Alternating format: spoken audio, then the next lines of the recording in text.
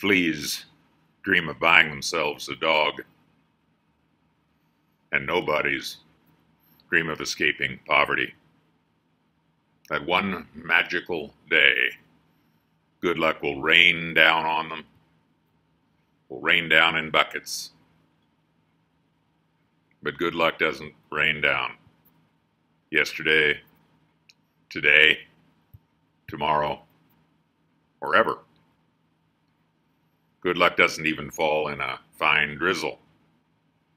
No matter how hard the nobodies summon it, even if their left hand is tickling, or if they begin the new day on the right foot, or start the new year with a change of brooms. The nobodies, nobody's children, owners of nothing.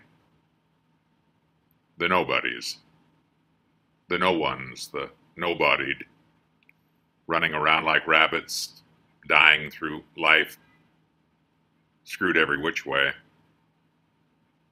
who are not but could be, who don't speak languages but dialects, who don't have religions but superstitions, who don't create art but handicrafts who don't have culture but folklore,